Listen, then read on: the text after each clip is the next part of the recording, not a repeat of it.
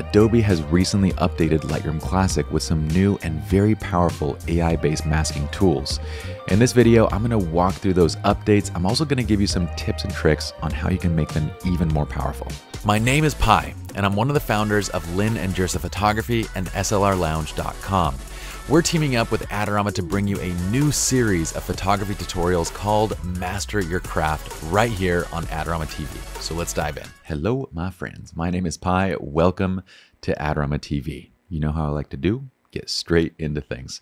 So, look, I want you to jump into Lightroom Classic. You're going to load up any image you like. I'd recommend an image that has a subject as well as maybe a sky and kind of foreground, something like the image that you have here. Normally, I'd give you guys the exercise files, but this client is an actual client of Jirsa Photography, and they were cool enough to let me use the image, but they do want to remain private. So we're not going to zoom in. We're just going to work from here. So with an image loaded, what I'd like you to do is just apply any basic look first before we get into the actual tools themselves. Okay, so what I'm going to do is I'm going to go to the Visual Flow preset, uh, the modern pack, and I'm going to choose HDR Natural. I'm going to go ahead and adjust the exposure up as well, kind of for my subject skin tones. And we get to right here. Okay, again, you can use any presets you've made yourself. You can, you know, do whatever look you'd like manually or whatever presets you've purchased, doesn't matter. Just get to a look first. So once we're here, this is where we would typically start doing some local adjustments, right? We kind of start doing some burning and try to select and maybe mask our subjects and whatever we want to do, but we're doing it by hand. So look, what's new is if you go to the top right now, and this is with our latest update essentially. So if I check, in fact, I will check just to give you guys a version number. Uh, this version of Lightroom is Lightroom 11.0. Okay, so as of 11.0 in Lightroom Classic, we have these features. So if I go to masking, you'll notice the menu has changed a bit. It's the same tools. Well, there are some new ones, but they're now kind of organized a bit different. When I click on that mask, you'll see add new mask, select subject. This is an AI based masking feature and select sky as is also an AI based feature. These are the two big new ones.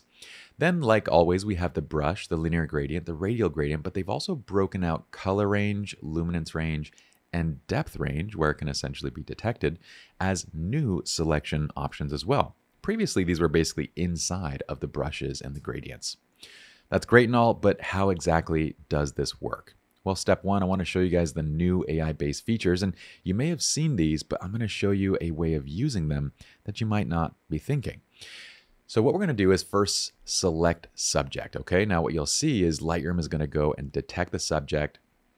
And once it has it, it's going to show this mask.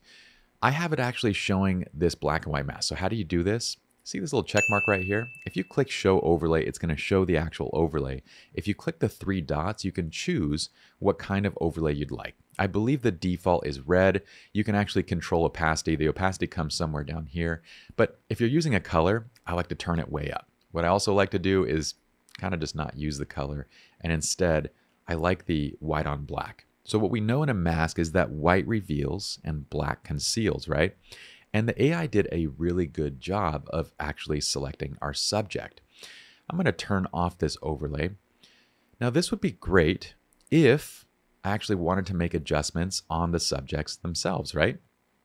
So let's say that I do make an adjustment on the subjects. I'm going to brighten them up just a bit more, maybe add a little bit more shadow recovery, a little more, you know, black recovery, and kind of leave it like maybe right about here, actually. Well, what if I just wanted to select the entire image, everything that's not the subjects? Well, again, this is where these new tools are very powerful because we actually have a masking layer menu, which is what you're seeing now. So if I click plus, I can go select subject again. Now it adds that same selection to a new layer. So it's going to run the AI again. I could just duplicate, but I'm going to do a new one. What I'm going to do this go around is on this first primary object. So we've selected the subject, right? On this little sublayer, we're going to go to the three dots and we're going to select invert. You can also click on that sublayer and press, I believe it's apostrophe to invert. Now remember, white conceals, uh, sorry, white reveals, black conceals, right? So now we're basically affecting everything but the subjects. In essence, what we've just done is we've selected the entire background minus our subjects. So now look at this. I can actually control and bring the background right back to where it's vivid and popping, right? Okay, let's take this another step further. So let's create a new mask.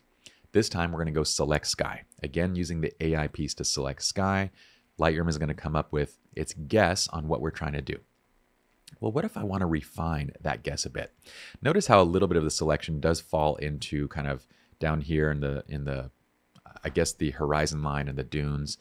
Um, and we also have a little bit of the sky where we get some posterization, right? What I can do now if I want to modify is click add. So if I press add, I can use any of these options.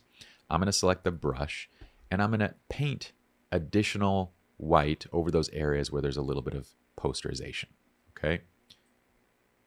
And I, what I would recommend when you're doing this, by the way, is when you're painting that in, do leave on the, uh, I'll show you, the auto mask option.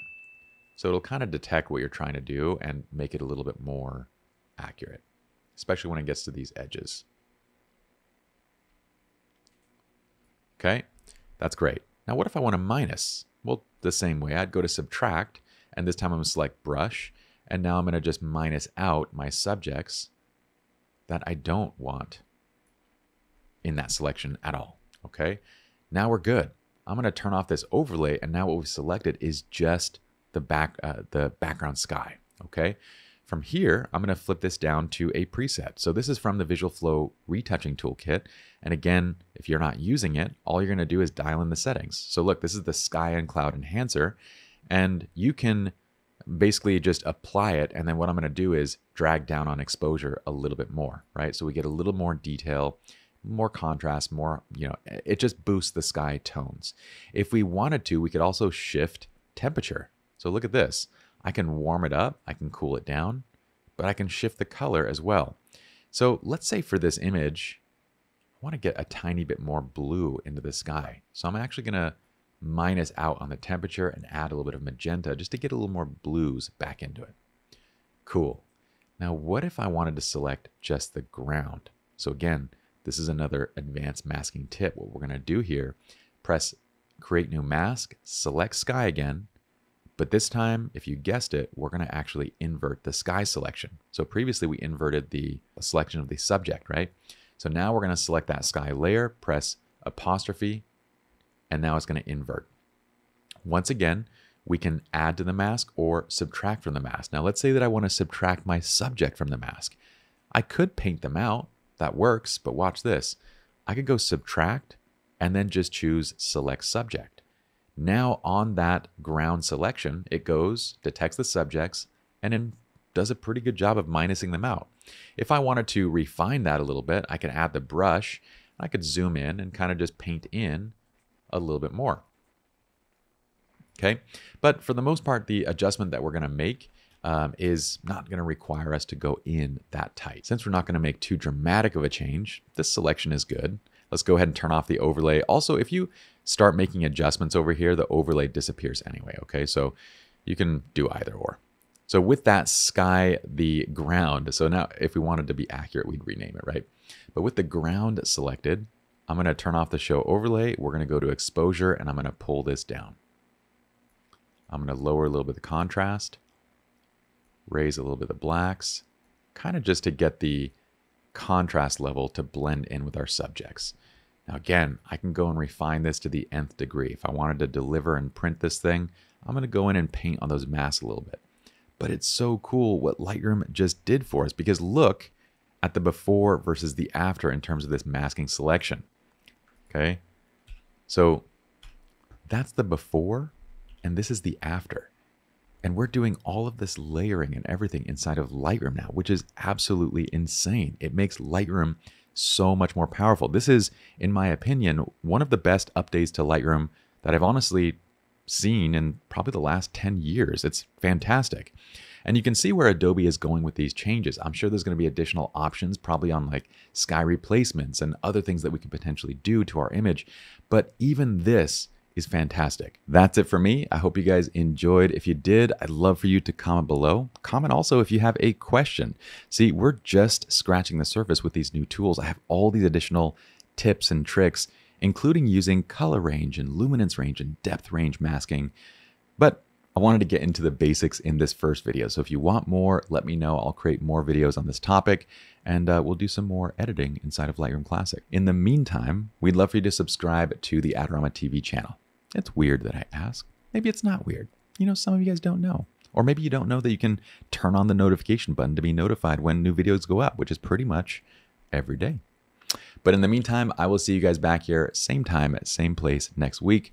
I appreciate y'all. If you want to give me a follow, you can follow me at PyeJirsa, and I'll see ya. Bye.